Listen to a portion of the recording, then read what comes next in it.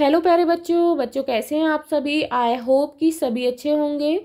बच्चों, आज की इस वीडियो में हम कक्षा पाँच के विषय, नैतिक शिक्षा के सप्ताह चौबीस की वर्कशीट को सॉल्व करेंगे, जो कि ईडीएमसी के द्वारा दी गई है। बच्चों, आपकी इस वर्कशीट का टॉपिक है, आलस्य मत करो। तो वीडियो को शुरू करने से पहले आप हमारे चैनल को सब्सक्राइब कर लें, ताकि आपको आने वाले वीडियोज़ के नोटिफिकेशन मिलते रहें। तो शुरू करते हैं। प्यारे बच्चों आलस्य का रोग जिस किसी को भी जीवन में पकड़ लेता है तो फिर वह संभल नहीं पाता। कई बार व्यक्ति कुछ करने में समर्थ होता है, फिर भी उस कार्य को टालने लगता है और धीरे धीरे कई अवसर भी हाथ से निकल जाते हैं। तब पश्चाताप के अलावा और कुछ नहीं बचता। तो बच्चों, यहाँ पर पढ़ेंगे हम कहानी आलसी शिष्य की।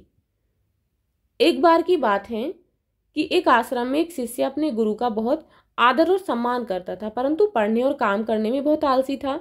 हालाँकि वह कार्य करता ज़रूर था, परंतु दीर्घ सूत्री था। दीर्घ सूत्री अर्थात, जब कोई कार्य करना चाहिए, तब नहीं, बाद में करने की सोचता था।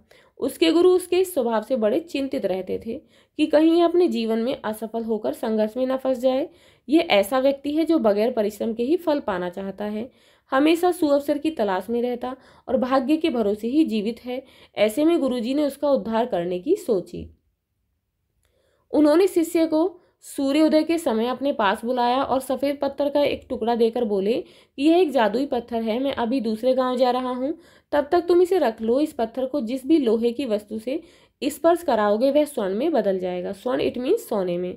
लेकिन दूसरे दिन में सूर्यास्त के बाद लौटूँगा तो इसे तुम्हें लौटाना होगा। बस कल सूर्यास्त तक का ही समय है तुम्हारे पास वह पत्थर देकर गुरुजी चले गए। यह सुन और देखकर शिष्य तो बड़ा ही खुश हो गया, परंतु आलसी व्यक्ति की सोच भी बड़ी आलसी होती है।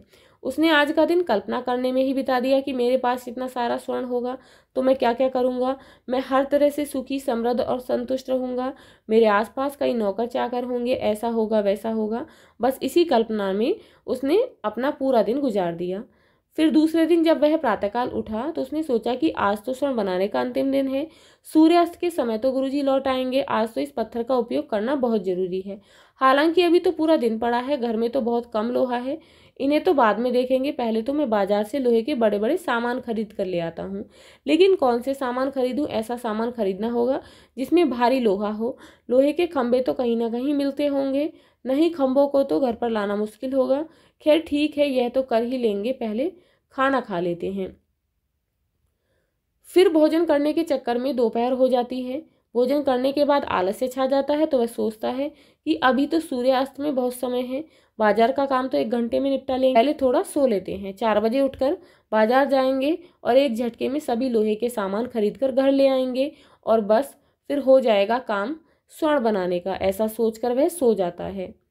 आलसी व्यक्ति, ज़्यादा ही गहरी नींद आती है, वह नींद की गहराइयों में खो गया और जब नींद खुली तो देखा कि बस अब तो सूर्यास्त होने ही वाला है। अब वह जल्दी जल्दी बाज़ार की तरफ़ भागने लगा।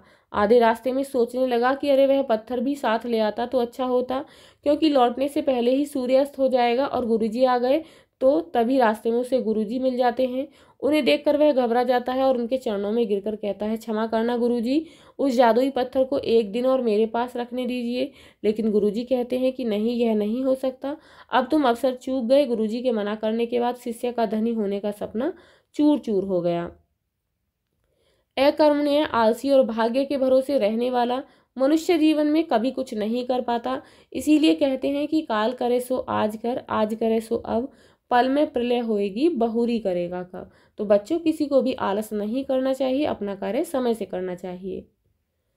आलस हमें न जकड़े, इसके लिए कई काम किए जा सकते हैं, जैसे कि समय पर सोना और समय पर जागना। अपना हर काम के लिए समय सुनिश्चित करना, दिन के कामों के लिए टाइम टेबल बनाना, आज का काम कल पर नहीं टालना। तुम इनसे क्या क्या करते हो, यह भी बताओ। मैं यह सभी काम करता हूँ तो बच्चों, आप जो भी कार्य करते हो इनमें से आप उन्हें यहाँ लिखेंगे। देखो बच्चों, यहाँ पुराने अखबारों पर केवल काला स्केच पेन का प्रयोग करके सुंदर चित्र बनाए गए हैं। तुम भी बनाने की कोशिश करो। तो बच्चों, आप यहाँ देख सकते हैं, ये न्यूज़पेपर हैं, इन पर काले स्केच पेन से ये चित्र बनाए गए हैं। पेड़ का है बच्चों, पत्तियाँ हैं बर्ड्स हैं तो आप भी इसी तरीके से चित्र बनाएँगे।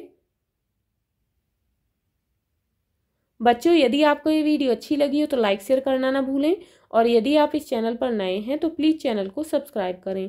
Thank you